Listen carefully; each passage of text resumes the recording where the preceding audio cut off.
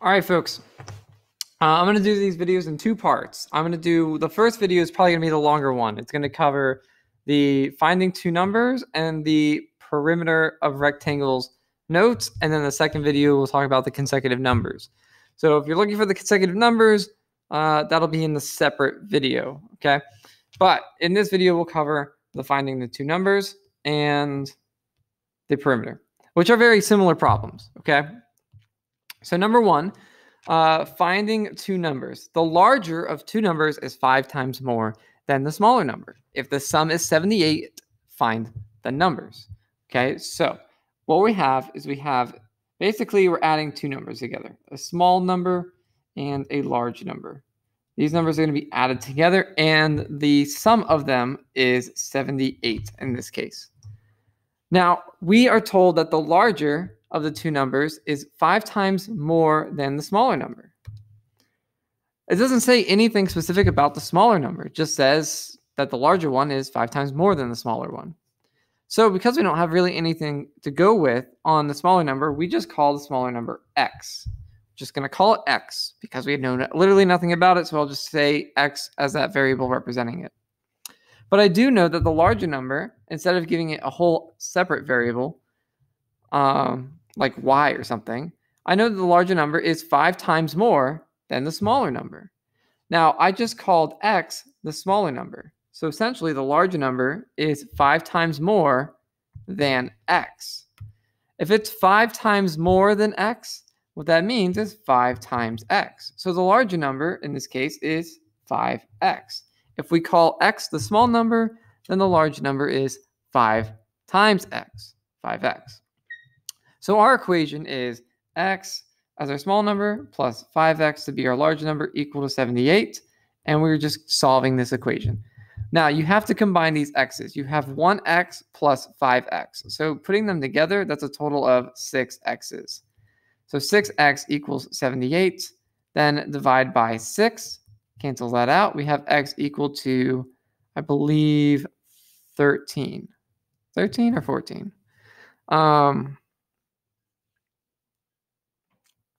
I think it's 13. Okay. So if x is 13, right, that's just our smaller number because remember, x is the smaller number. So if x is 13, then 13 is our small number. But we still have to find out our large number, right? Keep in mind, remember, the large number is 5x. If x is 13, then the large number is 5 times 13 right? 5 times 13 is 65. So our small number is 13. Our large number is 65. It almost looks like I'm writing negative 55, but I'm not. Okay? That's our large number. And if you need to check your work, so we've answered the question. 13 is the small one, 65 is the large one. To answer the question, we can see if this fits, right? The small number plus the large number is supposed to be equal to 78. So 13 is our small number, 65 is our large number, and 13 plus 65 is indeed 78, so that those numbers do actually fit. Okay? So I know that was a very long introduction, but uh, let's look at the similarities between that last problem and the second problem. The larger of two numbers is 4 less than twice the smaller number. If the sum of the numbers is 41, find the numbers. So same setup, okay? We have a small number plus a large number. Okay. And when I add them up, it says that the total is 41. So it'll equal 41. Just like the last problem, it doesn't give me any information about the small number. So I'm just going to call the small number x. Okay. So if you want a pro tip, all of these problems that we refer to the two numbers, the small number is going to be x. We're always going to start off with x being the small number, and then we really have to, you know, read the problem to understand what the large number is going to be, or how at least we're going to write it. So call the small number x. Again, we don't know anything about it. The larger number, though, is 4 less than twice the smaller number. Now, 4 less means you're taking away 4 from something, right? A lot of times people read this and they think 4, and then they see less than, they think minus, and then they think twice the smaller number. Now, twice the smaller number means twice x because the smaller number we just called x. So twice the smaller number is really 2x. So sometimes people read 4 less than twice x as 4 minus 2x. That's not right. That's incorrect. If I'm subtracting something, I'm taking it from something. So I'm taking away 4 from 2x in this case. So 4 less than 2x is not 4 minus 2x, it's 2x minus 4. Because to subtract something, you have to be taking it away from something else. In this case, we're taking it away from twice the small number, or 2x. So 2x minus 4 is how you write 4 less than twice x. 2x minus 4. Okay? So be very careful of that. Sometimes you have to kind of remember that when you see this, it's actually going to be at the end of the problem um, after the 2x. It's not going to be before the 2x. Okay? So now we just got this equation to solve. We have x plus 2x minus 4 equal to 41, and we just solve. Just like the last problem, I've got these x terms. I need to combine them. So 1 plus 2x, or 1x plus 2x, makes 3x right? Minus 4 equals 41. So when I solve it, add 4 to both sides, we get 3x equal to 45. And then divide by 3, we have x equal to 15. So don't forget, x is our small number and x is 15. Therefore, 15 is our small number. Now, the large number, don't forget, you have this information, use it. The large number is twice x and then subtract 4. So if x is 15, then the large number is going to be 2 times 15 minus 4. We just plug the 15 in for x. We have our solution. So 2 times 15 is 30, and 30 minus 4 is 26. So 26 is the large number.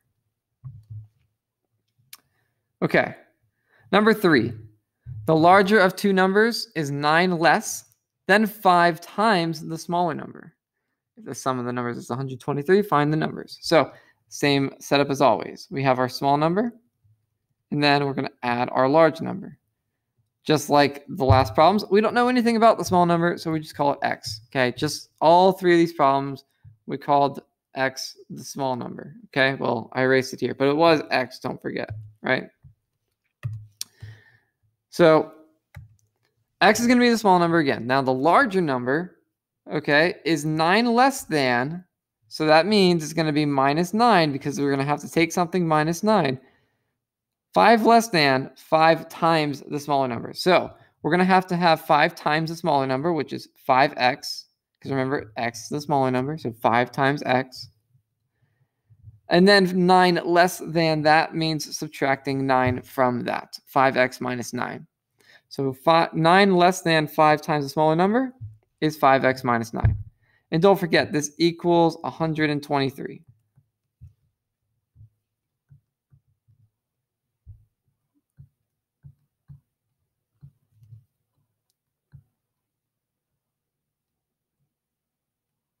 Okay. The um, pen's not working too well, but I'm about to end. I'll probably end the video here and start a new video on the uh, perimeter stuff. Okay. But when you solve this problem, you'll have uh, x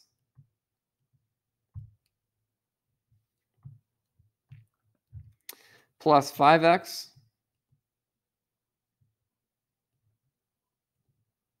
minus 9 equal to 123. So combine your x's, x plus 5x makes 6x minus 9 will then equal 123. And so add 9 to both sides. Oop. add 9 to that, you'll have 6x equals 132.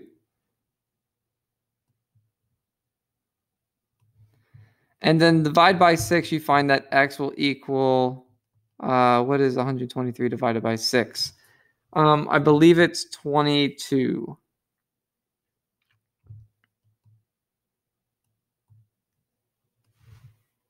Yeah, it's 22. And don't forget, that's the small number. 22 is our small number. If you want to find the large number, plug 22 in to 5x minus 9.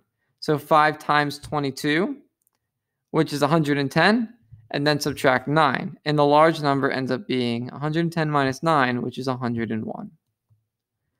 So those are your solutions for that problem.